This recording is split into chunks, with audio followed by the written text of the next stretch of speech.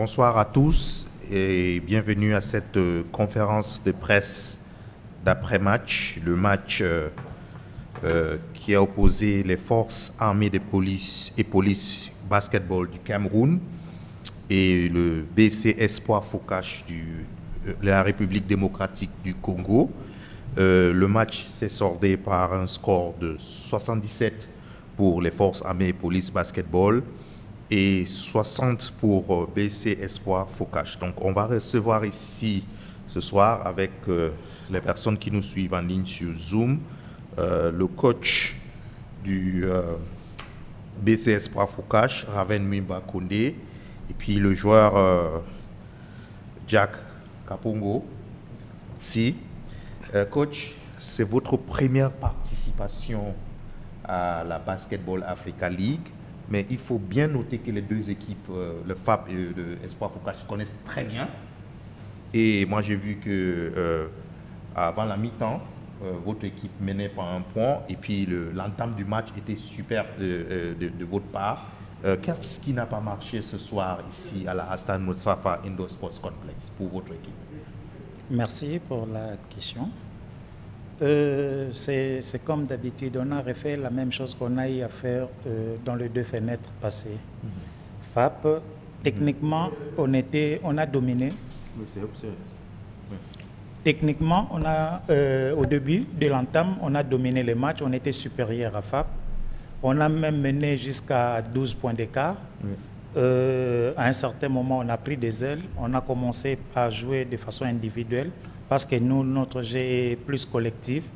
Les joueurs ont commencé à un certain moment, euh, euh, ils ont cru que le match était déjà fini. Or, on était à la première mi-temps. Mhm. Le FAP nous a rejoint au score. On, est parti, on, est, on a fini la première mi-temps avec demi-panier demi d'écart.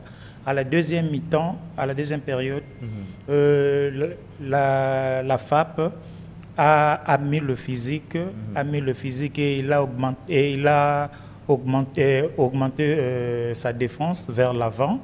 Et ça nous a beaucoup dérangé. On a commencé à faire de pertes de balles. Notre, nos, athlètes n'étaient pas un peu euh, calmes sur le terrain. Ils ont stressé, on a fait beaucoup de ratés, on a commencé à tirer pas avec de bons appuis. De, y a, on a manqué aussi la, la lucidité en deuxième mi-temps. Vous verrez qu'au troisième période et au troisième quart-temps, on a fait sept points. C'est ça qui nous a tués pour, euh, pour perdre le match d'aujourd'hui. Effectivement, euh, je, vais, je vais me retourner vers Jack. Et effectivement, on, on a vu hein, que l'équipe de, de, BCS Focage est venue dans cette compétition avec beaucoup d'ambition. Et on a vu ça en termes du match. Et comme le coach euh, vient de le dire, on, on, a, on, a, on a cru à un moment que vous allez revenir pour le, le, troisième canton avec le même esprit de combativité. Est-ce qu'il y a eu un discours euh, euh, euh, avec les joueurs pendant la mi-temps? Qu'est-ce qui n'a pas marché? Comme le coach dit, est-ce que dans votre tête, vous avez cru que vous avez déjà gagné le match? En fait, il y a eu une période de déconcentration, surtout dans le troisième carton dès l'entame. On était vraiment déconcentrés. On a eu à faire beaucoup de pertes de balles. Hum. On a encaissé de paniers qu'on ne pouvait pas encaisser. C'était trop facile en défense, mhm. contrairement à la première mi-temps où on a été dur. Et en attaque, c'était plus euh, la même chose. On était un peu précipité. Il n'y avait plus de technique. On n'a plus joué le schéma que le coach nous a demandé. On était un peu éparpillé sur le terrain. Et voilà ce qui a causé beaucoup de pertes de balles, beaucoup de ratés. Et ce qui nous a donné euh, un découragement. On n'a pas pu défendre correctement comme l'a demandé le coach. Voilà pourquoi on a perdu cette deuxième mi-temps. D'accord. Merci beaucoup, Jack. Euh, J'imagine qu'il y a des questions. Are there any questions? Yes. Question. There's a question. Translation. Okay.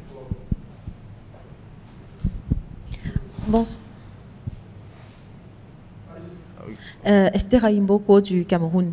Euh, coach, j'aimerais savoir si vous avez l'impression que le discours que vous avez donné à vos joueurs, tant euh, à l'entame de la rencontre que lors de, de la mi-temps, a été suivi. Est-ce que vous avez l'impression qu'ils ont respecté les consignes?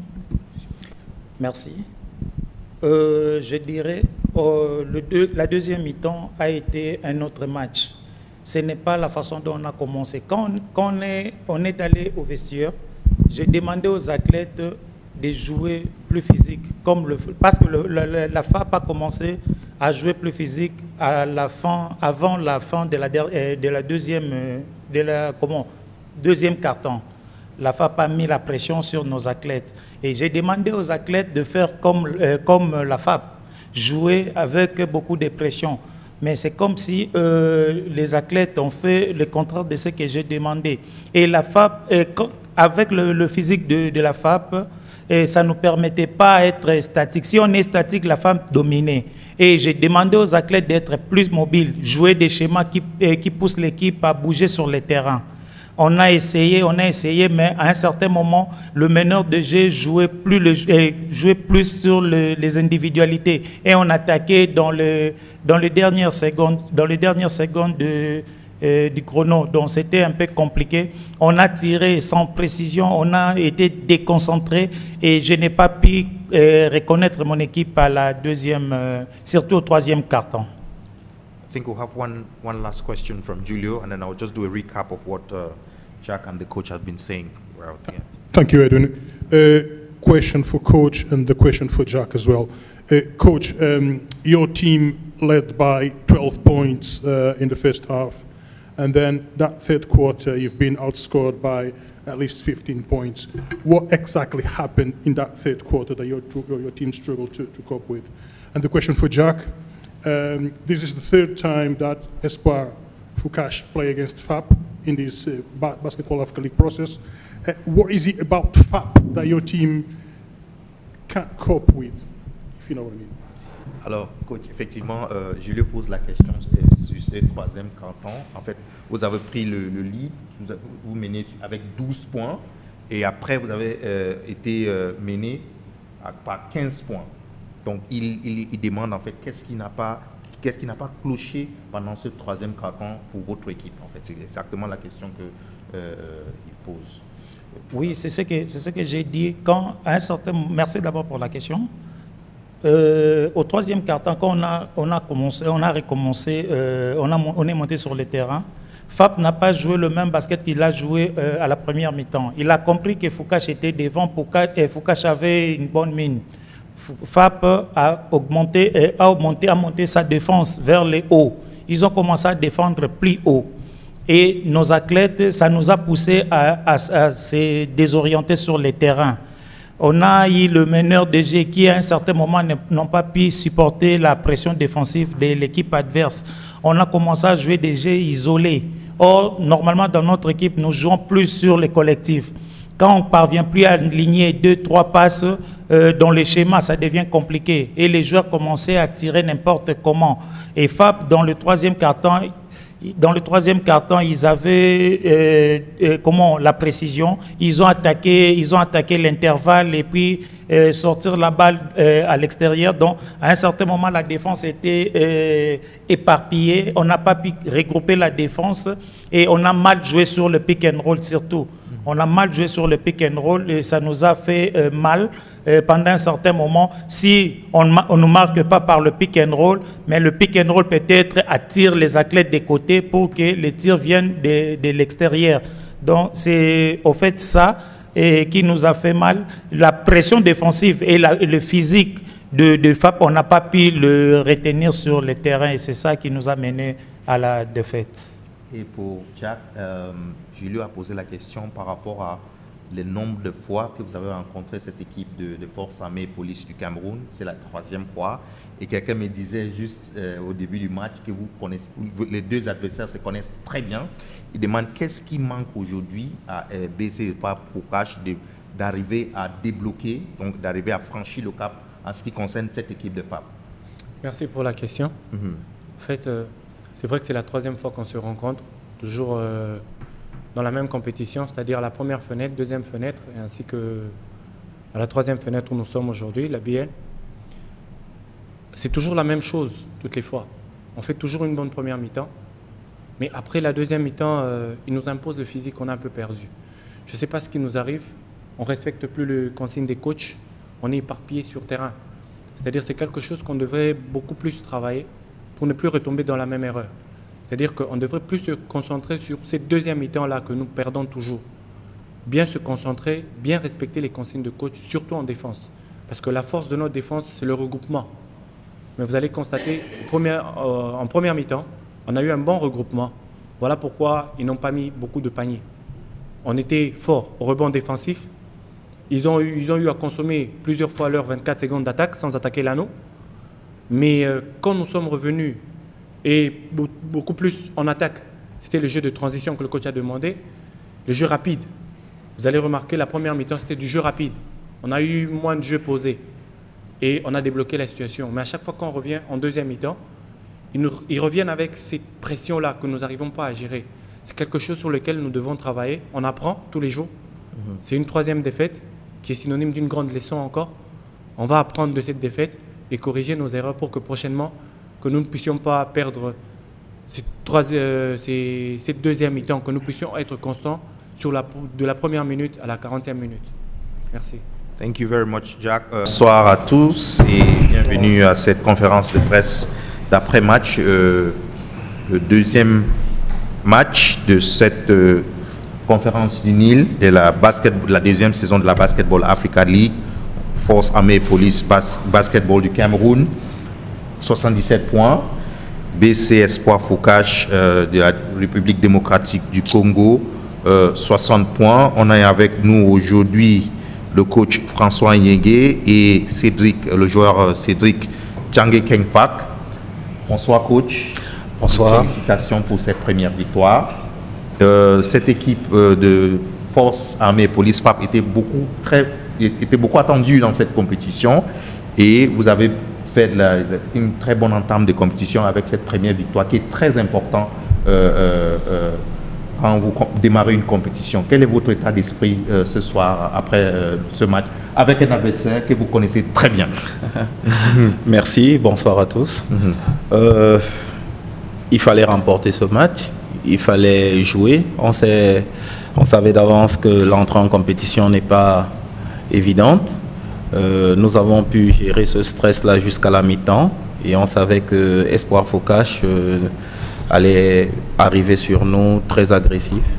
Et maintenant, il fallait réagir au troisième et quatrième carton, ce que les gars ont pu faire.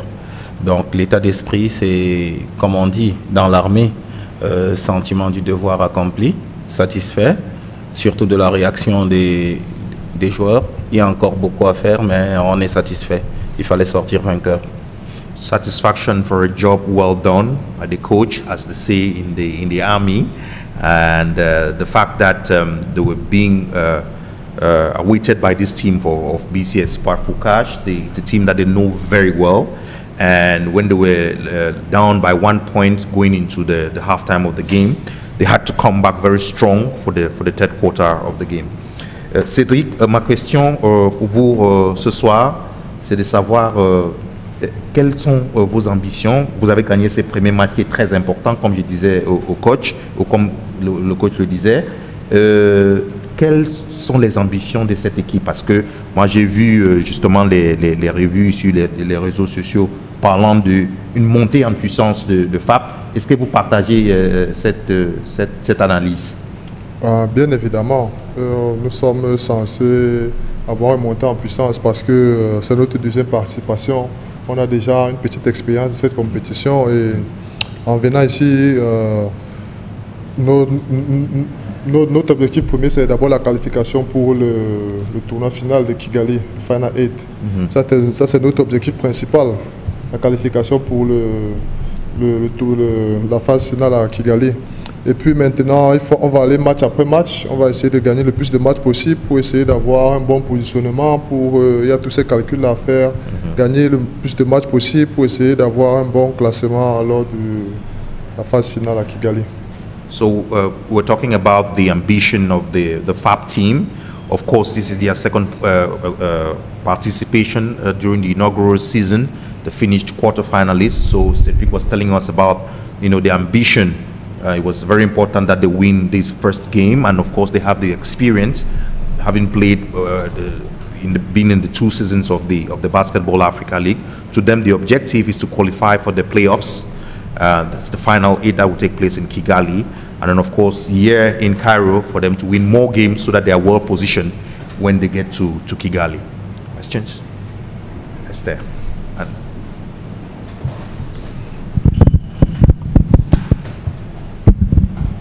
Bonsoir coach. Euh, l'entame de la rencontre était un peu difficile pour Fab ce soir. On a vu que Espoir Foucache menait quand même le jeu. Qu'est-ce qui a fait la force de Fab à la deuxième mi-temps? C'est-à-dire après les deux premiers cartons, on a vu que tout a été changé. comment est-ce que vous vous préparez pour affronter Cape Town? Euh, tout d'abord, c'est comme je le disais tantôt, c'est pas facile d'entamer une compétition. C'est une compétition prestigieuse. C'est une compétition où tous les regards sont tournés. C'est pas évident de gérer tous ces, caméras, tout ce public, tout ce qui se passe sur les réseaux sociaux. Euh, je pense que ce qui a fait la différence, euh, c'est le discours à la mi-temps. Parce qu'en connaissant notre adversaire qui ne sait pas bien renforcé ou bien ne s'est pas trop renforcé, euh, on savait qu'il fallait garder notre impact physique intact contre cette équipe et être plus agressif qu'elle. Euh, notre état d'esprit reste celui que j'ai dit tout à l'heure, c'est-à-dire prendre match après match. Rien n'est joué, ce n'est qu'un match, hein. c'est une victoire, mais il y, a, il y a quatre finales à disputer.